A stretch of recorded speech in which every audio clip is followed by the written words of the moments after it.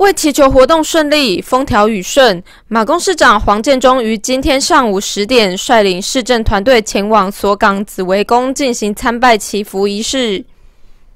在主任秘书林宝玲、机要秘书陈志谦、文创科长苏淑娟及客事队所主管、所港里长蔡成火、紫微宫总干事许日清与副总干事庄永俊等人的陪同下。黄市长亲自上香进行献花、献果、献财帛，并攻读祈福文等仪式，场面庄严肃穆。三叩首，升，再归。紫薇宫前举办二零二四年马公海洋文化娱乐季活动，贺蒙。紫薇四福起降和尽皆平安，大地恩昭永享亲安福来临，临将李明永沐洪恩尽安临，祈愿神恩又起安世福，娱乐季余尽大利，马公市政运亨通，诸市民老幼安康。呈上跪澎湖紫微宫紫微大帝列位正尊见纳，如下弟子市长黄建中谨致。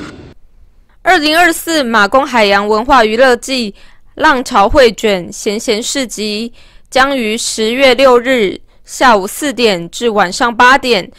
在锁港紫微宫前广场及锁港海堤盛大举办。活动将结合澎南在地渔村产业文化，以锁港小馆为主题，规划近六十个摊位与精彩的艺文展演，为民众带来一场融合传统与现代的文化盛典。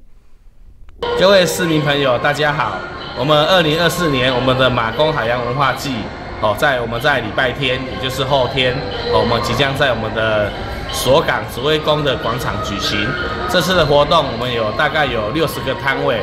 哦，呃，有各种美食哈，还有一些我们海洋哦，一些元素的一些摊位，哦啊，我们也聘请了我们河南地区的一些一些社区来摆摊，哦，我们把河南的特色我们都会呈现出来。我们也有这我们这次也有一百元的小馆体验券活动，就是我们自备我们的环保袋，哦，我们带我们的。摊位上哦，几点我们就可以获得一百元的免费消费券？欢迎我们的市民朋友，礼拜天大家踊跃出来共享盛举。马公市长黄建中表示，这次活动不仅是文化与产业的结合，更是对海洋资源的尊重与热爱。他强调，马公市海洋文化娱乐季已迈入第五年，透过这次活动，希望能让更多人认识澎南的渔村产业。